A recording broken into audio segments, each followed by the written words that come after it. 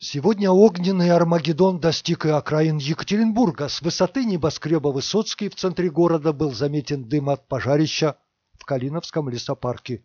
А в Шартарском по людской наводке полицейским даже удалось взять с поличным Герострата.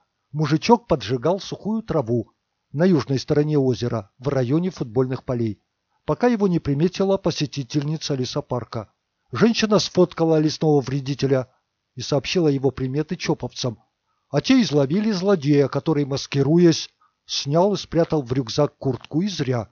К моменту приезда огнеборцев выгорела сотка сухой травы, или в пересчете на язык горожан 100 квадратов особо охраняемой природной территории губернского значения.